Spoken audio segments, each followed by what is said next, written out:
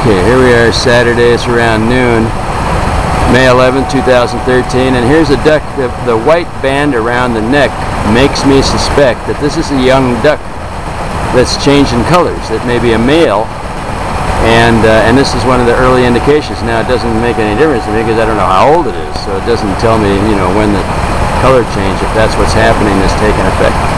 But you're just sitting there, huh? You're just sitting there, enjoying it, not nervous, nothing. Are you an uno, dos, tres, cuatro, huh?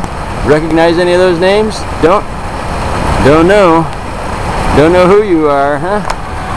Could be one of the ducks that came down from Upper Brackenridge, whatever. Yeah, you're just figuring out, trying to figure out what I'm doing, huh? What's what's with me? You're not trapped there, are you? Well, no, you can walk out of there. Can't fly. Yeah. You, like that, huh? Well, that's enough for this one. I'm not doing anything. This is down by the Alamo.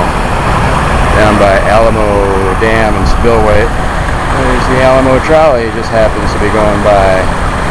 It goes, that's, that's a separate trolley from the city system. And this is a little waterway that the little ducklings get caught in here and then they can't get out unless they go down through the pipe at the bottom.